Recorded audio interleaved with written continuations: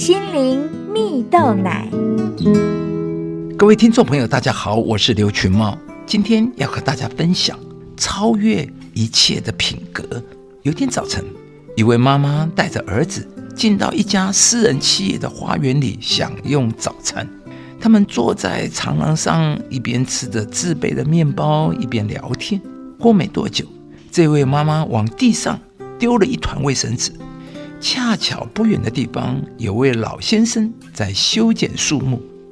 他什么话都没说，走过去捡起那张纸屑，丢在垃圾桶里。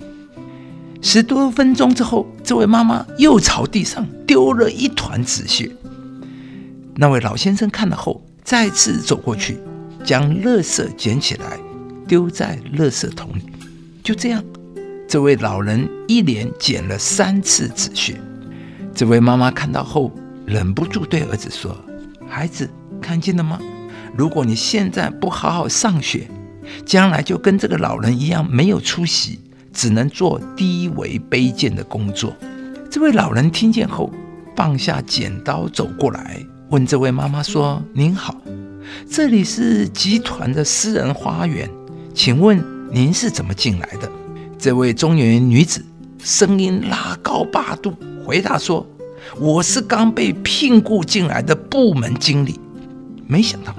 这时，有一名男子匆匆跑过来，对老人说：“总裁，会议马上就要开始了。”这位中年女子听见对话后，呆住在现场。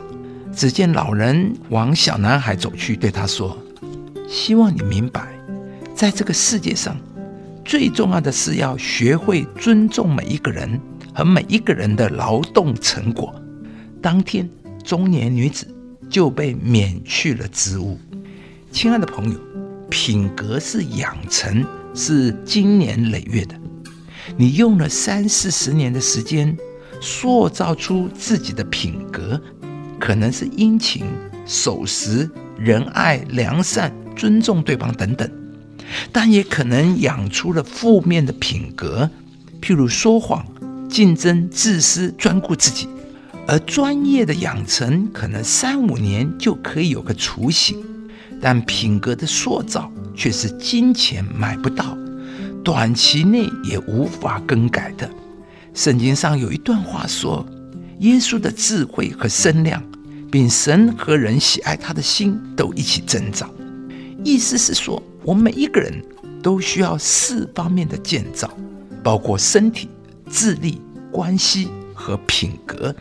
圣经所看重的不只是智慧和圣量。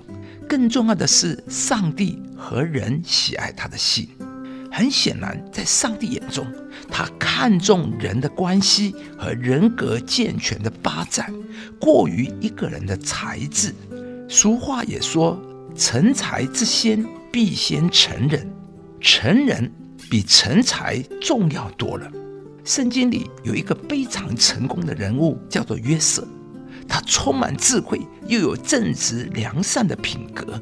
他父母必定在幼小时就为他打下美好的生命的根基，使得约瑟从青少年时期就能够从同才中脱颖而出。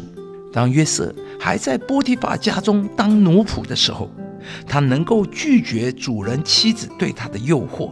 又因为与上帝亲密的关系，以至于他能够为法老王解梦，连法老都说：像这样的人，有神的灵在他里头，我们岂能找得着呢？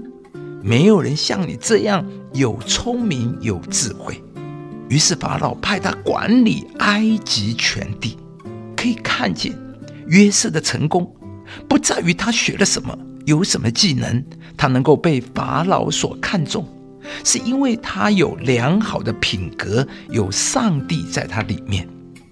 今天祝福你，也祝福您的孩子，在生命建造的过程中，让品格超越一切吧。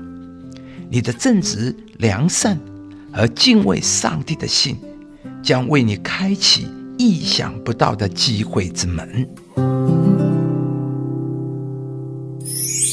因为耶和华神是日头，是盾牌，要赐下恩惠和荣耀。他未尝留下一样好处，不给那些行动正直的人。以上节目由中广流行网罗娟、大伟主持的《早安 EZ 购》直播，欢迎电台好家庭联播网联合播出。适林林良堂祝福您有美好丰盛的生命。